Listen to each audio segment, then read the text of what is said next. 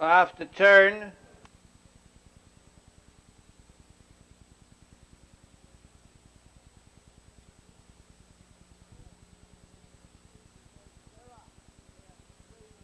They're off.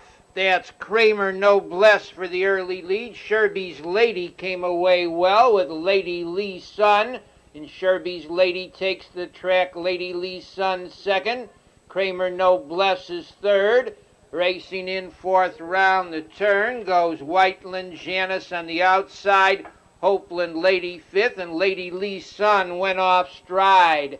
They settle in for the quarter. The mile the quarter mile, 29 seconds on the front end. The leader, Sherby's Lady by two. Kramer Noblesse second by two in third. Whiteland Janice on the outside. Granny Smith fourth. Meadow Heather Racing fifth. Armbro Jacuzzi is sixth. Towards the inside, Meadow Elegance Racing seventh. and the outside, eighth as they go to the half mile marker. That's Eternal Flame down along the rail ninth. Ebonita Hanover racing in 10th position on the backside is up to speed in 11th. Goes Hopeland Lady, then it's far back to Lady Lee Sun 12th, trailing the field Wedding Gift. The half mile was in a flat minute.